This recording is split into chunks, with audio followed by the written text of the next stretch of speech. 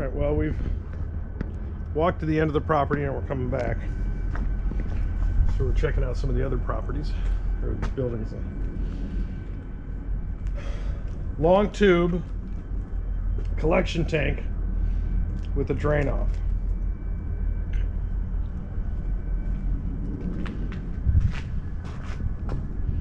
No idea what this building did. It is lunchtime now. So we're eating our traditional sunflower butter and ginger preserve sandwiches with my homemade bread. Mm. Mm-mm-mm. And we did uh, some economic calculations. So wages were 50 cents to a dollar 75, whatever, per day in 1887, I think it was, somewhere in there.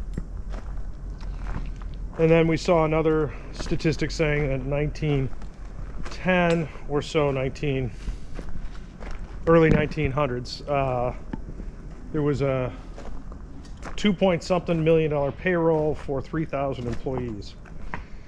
So between those two concepts, we looked at an inflation calculator, and that would be about 30 plus dollars a day and uh, 80, 18 or so thousand, a little between 18 and 19,000 a year annual wage on average.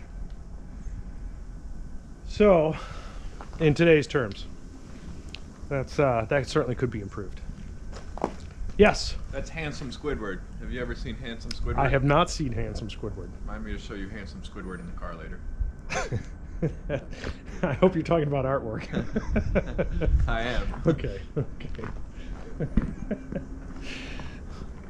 And this guy looks like he was just practicing his name. All right.